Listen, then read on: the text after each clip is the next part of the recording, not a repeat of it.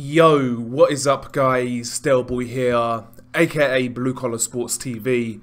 Hopefully you guys are doing well. If you're new here, smash that like, hit subscribe, all of that good stuff. So some bad news in the welterweight division, and I apologise to G-Man for stealing his title in regards to this one. But in the immortal words of Mick Hennessy, what the fuck is going on with Vergil Ortiz Jr.? Of course, this weekend he was supposed to be fighting Eimantas Stanionis. That fight was for the WBA regular title held by Stanionis.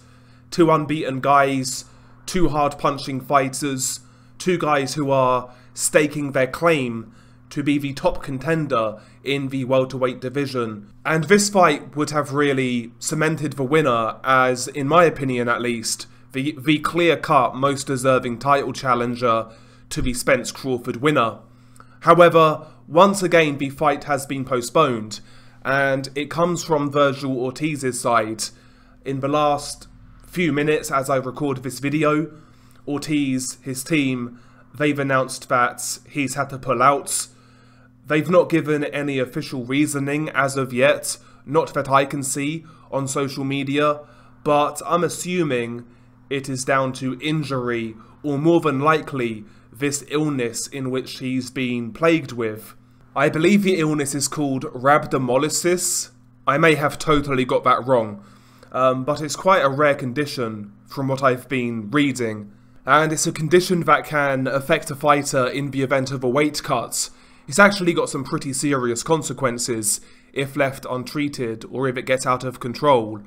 So essentially, rhabdo occurs when damaged muscle tissue releases its proteins and electrolytes into the blood, and the resulting substances can damage the heart, kidneys, other organs, and even cause permanent disability or even death. So it's a serious illness.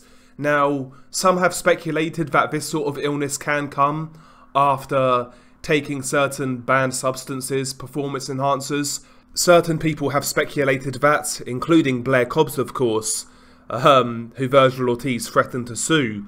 But regardless, is it this illness flaring up once again because it's caused him some trouble in his career in the last couple of years? Um, and yeah, right now, Vergil Ortiz, he was at a point in time where he garnered so much hype, so much excitement from boxing fans, but right now that momentum is completely dead you know, he's not fought since August of last year, and that was against Michael McKinson. McKinson's a good fighter, but, you know, he, he wasn't a Kavaliauskas or even a Maurice Hooker, who he previously fought. That was a step back in competition. And he only fought once last year, not fought once this year, so the inactivity of Vergil Ortiz is, be is beginning to be a problem. And, you know, if this illness has been recurring, then Vergil may not be in a good spot right now because this sort of illness can seriously affect training, weight cuts, etc.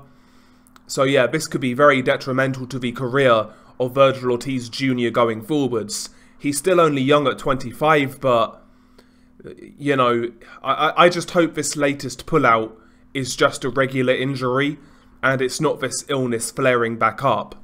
So again, I, I just hope it's a regular injury and um, not this illness because it, it has some serious consequences going beyond boxing but just life in general.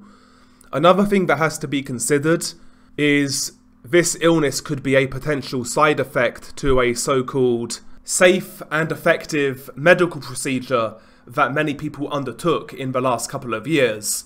Uh, again, if you if you actually Google this, um, this illness has been reported as a rare side effect of the so-called safe and effective procedure.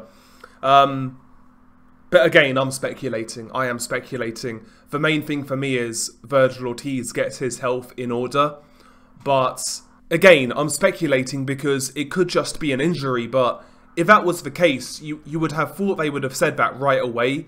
And getting injured this late in camp, a day before the weigh-in, doesn't seem all that likely to me.